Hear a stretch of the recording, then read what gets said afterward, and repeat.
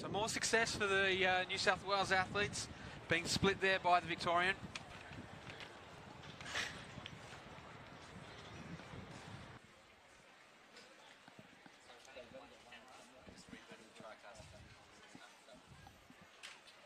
Now while we're on now, high jump here. We might go into some more Finnish fun facts. Oh, I love the Finnish Uh, fun facts. As we see Stephen Karga just clipping it with his heels on his attempt at two metres. Uh, in Finland, your speeding fines are calculated on a percentage of your income. Yes, yeah, I did hear this one. So some Finnish millionaires can face fines for over $100,000, which, you know what, don't speed.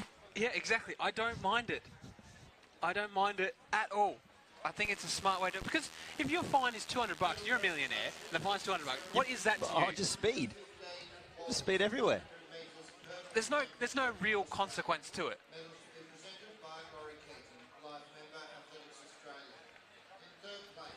So your full official results there. Riley Hemsworth, 13.05. Taylor Willis, 13.27. And Mitch Lightfoot, 13.42 with a plus 2.2 in the men's under 16 100 metre hurdle final.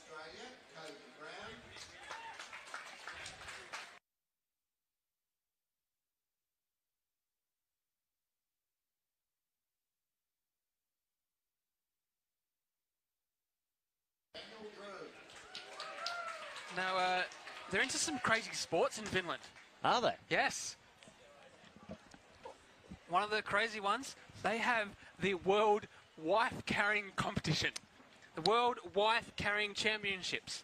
It's an actual event. It's a world championship event for carrying your wife. And I believe that you win your wife's weight in beer in the end as a prize. Well, that's, that's,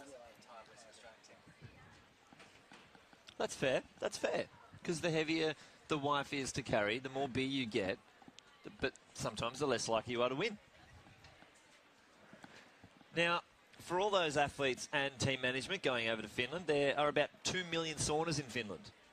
So enough for the entire Finnish population to take a sauna at the same time, which uh, if they have international or not in, national sauna day, there is an opportunity. I wonder if there's a point where everyone is having a sauna at the same time. Oh, jeez. Well, on that, they are the, the land of lakes. One would say they have a lot of lakes. Well, they do. They do. They have a whopping 187,888 lakes. That's a lot so of lakes. is there a point where everyone is looking at a lake at the one time? Well, speaking of lakes, they have National Sleepyhead Day, where the last person in the family to wake up is thrown into a lake or the, or the closest sea by the rest of the family. so obviously, they might have two. They might walk outside with the one to wake up and goes, I don't even know which lake to throw him in. There's too many options. Too many lakes. Don't think that's been a fact for that. It's never been a situation for too many people, but you know, obviously obviously the Finnish. You never know. a lot of lakes. You never know.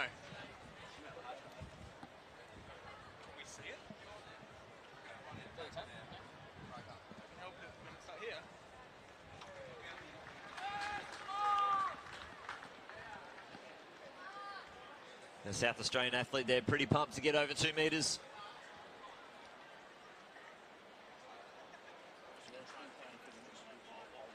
Jaden Ellsworthy, clear over that two metre bar.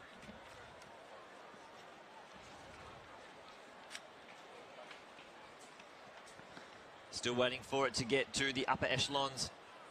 But with Cargo coming in, and again, just taking it off with his heels, unfortunately.